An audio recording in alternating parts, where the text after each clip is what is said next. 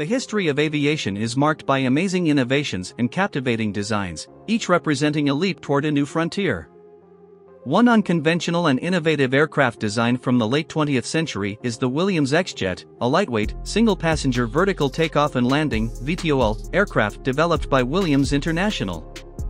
Although it did not become widely available, the X-Jet has attracted attention for its unique design and potential uses. First, let's delve into the background and development of the Williams X-Jet, also known as the Flying Pulpit. Williams International, known for its small turbofan engines, transformed the concept of a personal VTOL aircraft from a simple sketch to a flying prototype in the late 1970s.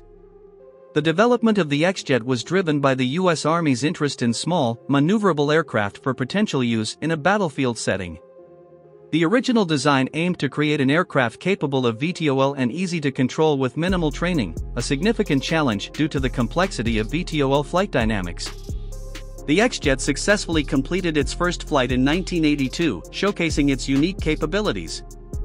Although it never went into full-scale production, the prototype left a significant impression, proving that a personal VTOL was more than just a concept from science fiction.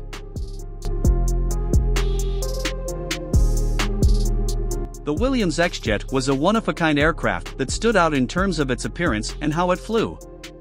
It had a small, lightweight design with the pilot standing above the Williams International WTS-117 turbofan engine. The pilot controlled the X-Jet using handlebars similar to those on a motorcycle, connected to thrust vectoring vanes beneath the engine. The unique design of the X-Jet allowed for impressive maneuverability, with the ability to hover, reach speeds of up to 60 miles per hour, and fly to heights of up to 10,000 feet.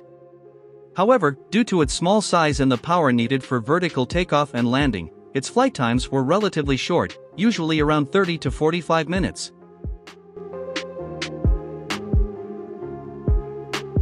The X-Jet, while not widely produced, was a significant advancement in personal aviation. It provided a glimpse into the potential of VTOL technology, inspiring future designs and sparking imagination worldwide. The X-Jet showed that personal VTOL aircraft could be made simpler to control, moving away from the complex control systems of traditional aircraft. This breakthrough opened the door to a wider range of VTOL technology applications, including search and rescue, personal commuting, and recreational use. Although the technology at the time couldn't overcome some key challenges such as battery life, noise pollution, and safety concerns, the X-Jet served as a blueprint for the future of personal VTOL aircraft.